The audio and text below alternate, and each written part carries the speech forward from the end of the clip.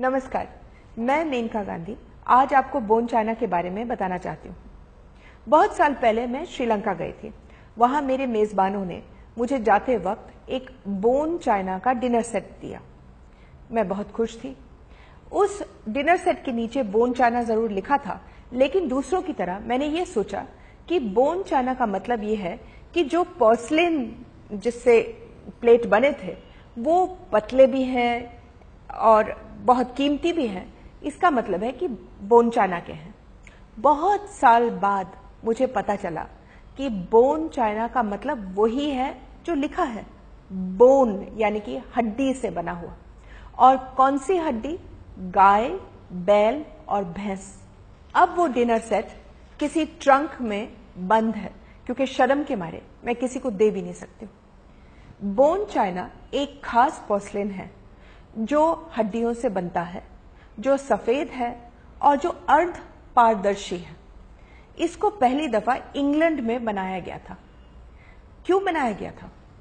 चीनी मिट्टी सबसे पहले चाइना ने बनाया, इसलिए तो उसे चीनी मिट्टी कहते हैं। इंग्लैंड में बहुत लोग चीनी मिट्टी को पसंद करते थे प्लेट बनाने में।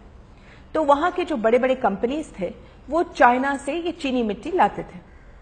अब इन्होंने फैसला कर लिया कि ये चीनी मिट्टी बहुत महँगी पड़ रही है। तो क्यों नहीं अपना बनाया जाए? एक आदमी था जिसका नाम था टॉमस फ्राई। उसने 1748 में सबसे पहले हड्डियों को इस्तेमाल करना शुरू किया प्लेटें बनाने के लिए। अब क्योंकि उसके प्लेटें बहुत अच्छे निकले तो सारे कंपनीज़, स्पोर्ड कंपनीज़ सबसे पहले फिर उसके बाद अन्य ऐसे बड़े बड़े कंपनीज़ मिंटन वेजवुड सबने ये शुरू किया कि वो कतल खानों से सारे हड्डियाँ लाते थे, उनको राख जला करके बनाते थे और फिर उसके बाद उनके प्लेटें बनाते थे। इन्होंने ये काम शुरू कर दिया। और जो इंग्लैंड करता था, वो हिंदुस्तान ने तो करना ही करना था। तो हमने भी शुरू किया यही हड्डियों को इस्तेमाल करके बोन चाइना बनाना। बोन चाइना को हम कैसे बनाते हैं? सबसे पहले कतल खाने से हड्डियाँ लाई जाती हैं। फिर उनसे मांस उतारा जाता है। उसके बाद उनसे गोंद निकाला जाता है, जो गोंद के लिए इस्तेमाल किया जाता है। उसके बाद 1000 डिग्री सेंटीग्रेड में उनको सुखाया जाता है।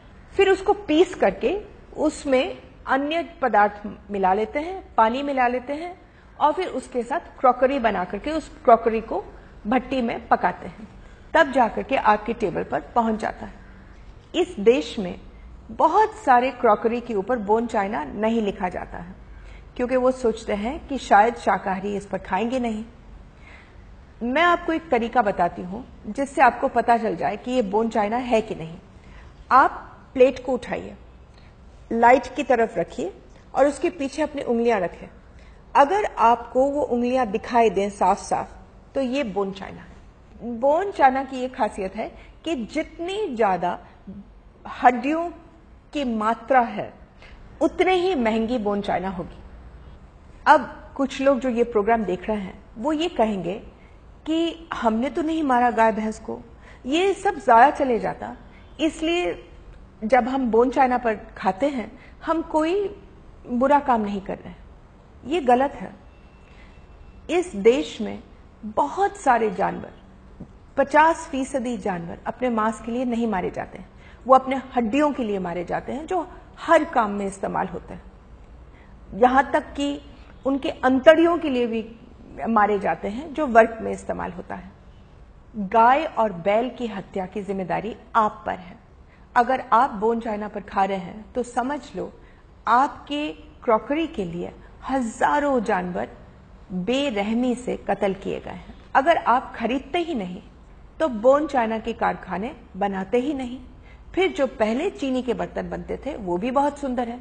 उन पर क्यों नहीं आप खा सकते? हैं अगर मैं आपसे ये कहूँ कि आप गाय की हड्डी पर खाना खा लें, या चमड़े पर खाना खा लें तो आप कहेंगे छी छी छी छी।